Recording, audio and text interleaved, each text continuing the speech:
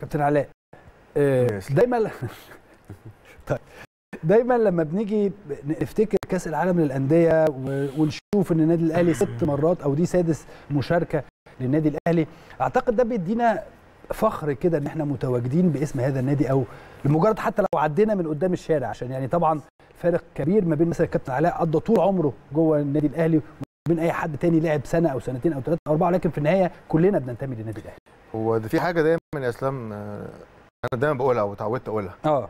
آه، أي حد انتمى للنادي الأهلي بقى سواء لعب سنين وهو صغير أو جه لعب في النادي الأهلي آه، هو فخر ليه؟ فخر وشرف ليه إن هو في يوم من الأيام انتمى للنادي ده كان منتمي للنادي ده بغض النظر على السنين السنين الكبيرة اللي هو قضاها أو السنين القليلة لكن حتى اللي بيجي على النادي الأهلي بيحس إن الموضوع كله مختلف. أيوه. غير يعني أنا من عندي 12 سنة بالظبط في النادي الأهلي. يمكن أنت جيت النادي الأهلي ما شاء الله كنت جاي نجم كبير انت واحمد.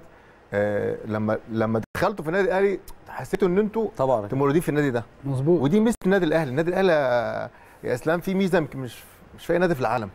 انت أول ما تحط رجلك في النادي ده انت. بتطبق بطباع النادي. بطباع لعيبته. بال بال بالفكرة بتاعت النادي. فكرة إن ده نادي مبني على بطولات آه، إنجازات لازم يبقى أحسن نادي في في, في, الأول في مصر وبعدين في الوطن العربي وبعدين في أفريقيا وبعدين خلاص دلوقتي يعني من أحسن أندية العالم.